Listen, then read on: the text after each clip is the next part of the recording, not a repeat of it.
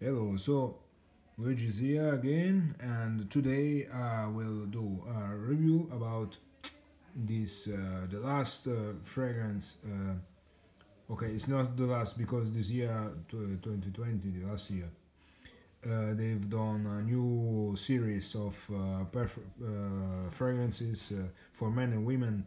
They were called um, stories and uh, but this one is uh, one of the last uh, for men in done in 2019 and it is Intenso. Okay TL Intenso by Ted Lapidus and the toilet. And uh, this one uh, should be a flanker of the original uh, TL Pour Louis uh, a classic uh, fragrance done uh, for men and projected, um, I want to say, produced by two noses, Bijou and Rochelle. But um, this time we don't know who is the producer, who is uh, the nose uh, behind it. Um, this fragrance uh, similar to the other one, to the whole one, is a, a gourmand. So see, is a gourmand fragrance, but uh, the other one was a little bit stronger, a little bit uh, fresher. Okay, because had the, the mint inside. It was uh, very similar to.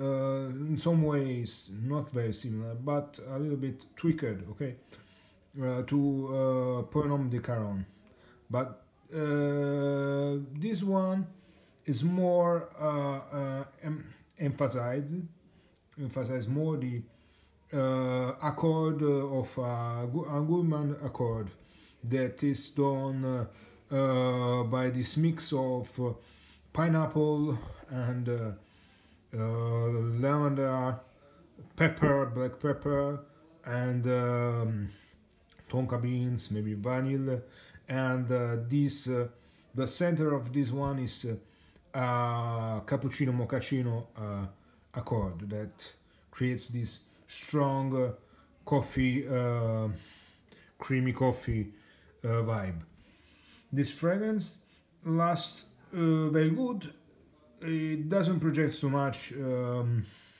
and this is uh, the fault of this fragrance that is called intenso so i should th- think that. Think about uh, a more uh, projecting one, a more uh, um, how to say uh, expansive one, but this one is really not so expansive. Uh, uh, the original one was much more, but it's very, very, very pleasant. It's very, very sweet masculine but not excessively masculine. And uh, like the original one that was uh, also to say uh, most uh, unisex.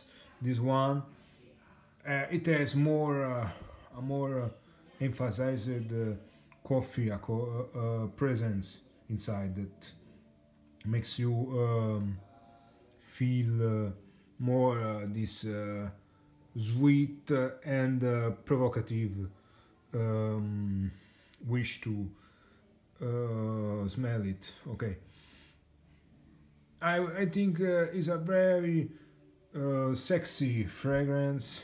Um, is another hard to find uh, sadly fragrance. Uh, you we found it around 40 euros maybe and this is the retail price uh, today. Um, and you can find it only in few few uh, e-stores uh, sadly. And the longevity lasts uh, almost uh, six seven hours seven hours. It's good uh, but um, as i said i like it very much but i cannot suggest this one because it is very very hard to find a, uh, a little too expensive and uh, it doesn't uh, um, innovate too much okay? There is there are many many fragrances that are much more um, easy to find that uh, project a little bit better okay? This one I like it very much if you find it for an easy in an easy way of a cheap price I recommend it. If not uh, let it uh, be so. And when you will find it uh, in the future maybe uh, I say buy it. Okay till next time. Bye